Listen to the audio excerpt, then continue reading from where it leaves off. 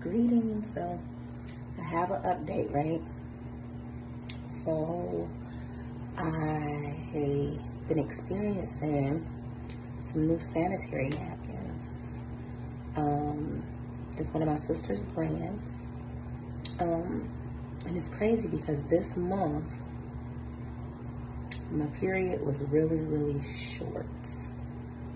So I gave her sanitary napkin, napkins a try. Um, I have been using them maybe for about a month or so now. Finally experienced like a whole cycle with using them. They did wonders. Um, I normally stay on for about seven days. Um, it shorted my cycle about three days. So I was on for maybe about four days. Beautiful, beautiful thing because I'm ready to go to Puerto Rico Monday. So that was like really exciting. But go ahead and grab you guys some. They definitely do wonders. They're natural.